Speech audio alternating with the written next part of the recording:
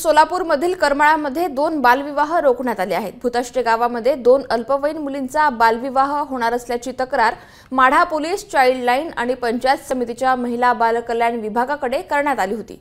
त्यानुसार कारवाई करत हे बालविवाह रोखण्यात आले आहेत. या प्रकरणाची तत्परतेने दखल घेत माढा पोलीस आणि पंचायत समितीच्या महिला बालकल्याण विभागाने ही कारवाई केल्याने त्याचं सर्वत्र कौतुक करण्यात येत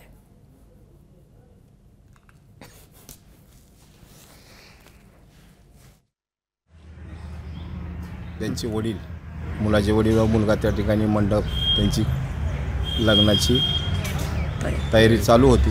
त्या ठिकाणी जाऊन विचारपूस केली मुलींची वय विचारली. अल्पवयीन असल्यानंतर त्यांना तसे आम्ही त्याबद्दल समजून सांगितलं. वरिष्ठ कार्यालयांना आम्ही कळवलं. तहसीलदार साहेब ग्रामसेवक यांना तसे रिपोर्ट दिले. जाबजबाब घेतले. व काल दिनांक तीन तीन बारा एकोणीस रोजी त्यांना लग्न करण्याबद्दल आम्ही थांबवलं आणि लग्न करू दिलेलं नाही.